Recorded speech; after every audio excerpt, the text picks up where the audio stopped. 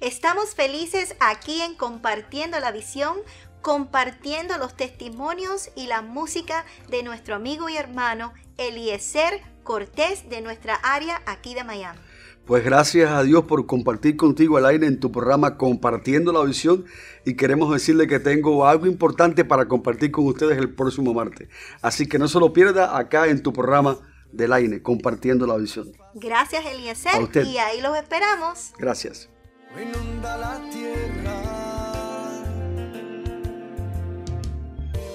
Es tan difícil de ocultar tu amor se manifiesta a cada paso y hasta el cielo azul